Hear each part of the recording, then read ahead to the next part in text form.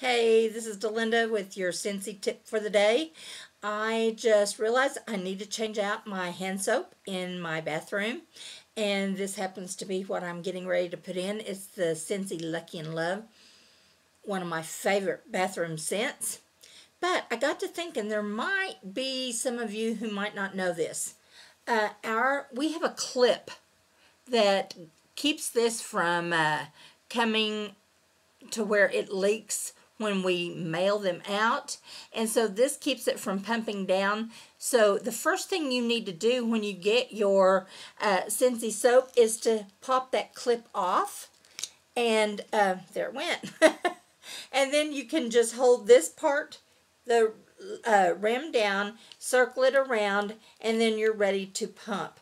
And it's not a big, deep pump, but just a short pump. Love that scent. Nothing better. Time to go wash my hands. Talk to you later.